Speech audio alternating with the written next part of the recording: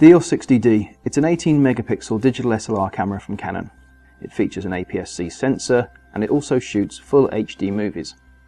The EOS 60D has a key new feature which is the vari-angle LCD.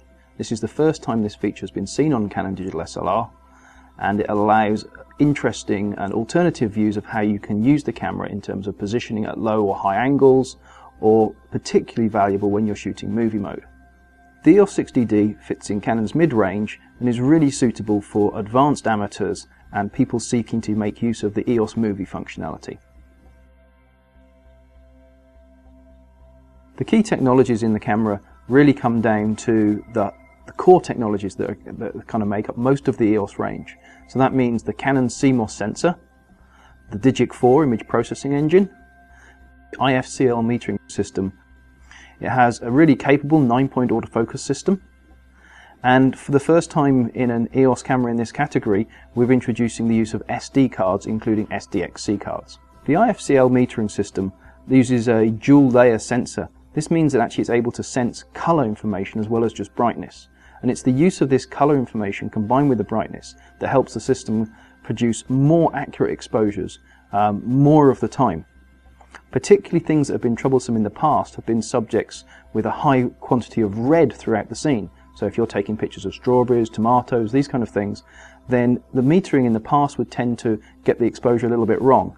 IFCL, with its color sensitivity, is able to detect these colors, which ends in a much better exposure when you're shooting those kind of scenes. The EOS 60D uses a 9-point autofocus system. The, all nine points are sensitive um, as cross-type sensors with lenses of f5.6 aperture. The center sensor, when you fit an f2.8 or faster lens, becomes a higher precision sensor, so you'd have the eight regular f5.6 ones around the edge, and the center one is a high precision f2.8 sensor.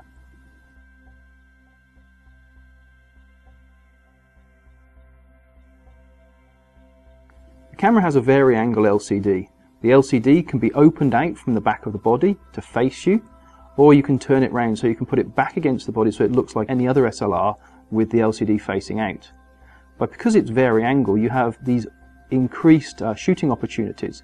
And that comes down to the fact that you can twist the LCD so you can it can face down towards the ground and if you're holding the camera above your head you can now frame your subject correctly. Also, if you're working in the macro world, shooting small things at low level, putting the camera right down to the ground and being able to look down on the LCD, that's really, really helpful for your photography. And if you're going to make your own movies and shoot yourself on camera, being able to turn the camera, the LCD all the way round so it faces you means you can actually see what the camera's recording whilst you're in front of the camera.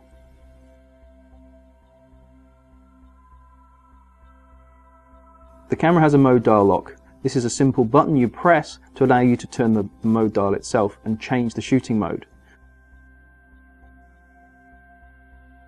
On the camera's top plate, right next to the shutter button and in easy reach, there's four buttons dedicated for autofocus, for the drive mode, for the metering mode and your ISO speeds.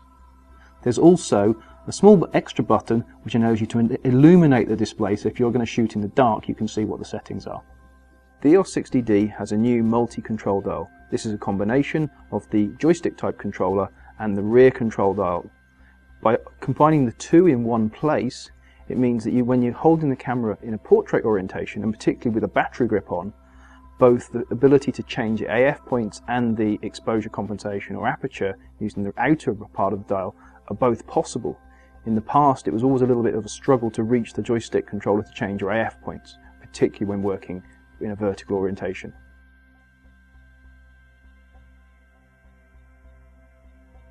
The EOS 60D has of course the EOS movie functions. This means a full HD recording at 1920 by 1080 at both 24, 25 frames per second. You can also record at 30 frames per second. If you prefer, you can also shoot at 720p in 50 and 60 frames per second, plus also there's a lower resolution VGA which is great if you just need something quick to upload to the internet. The EOS 60D has the ability to accept plug-in microphones through the microphone input, and also you can manually set the recording levels for your sound recording. Also new with this camera, you have the option of having the camera process the sound using its built-in wind cut filter. You just select that from the menus.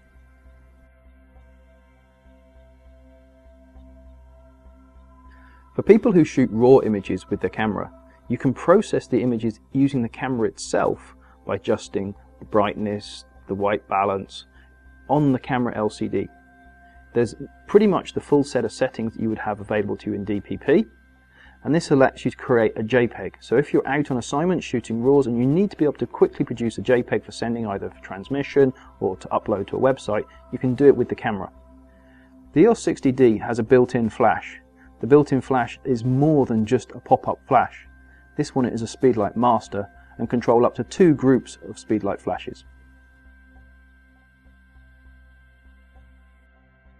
So to sum up, the EOS 60D, it is a new 18 megapixel camera that shoots up to 5.3 frames per second.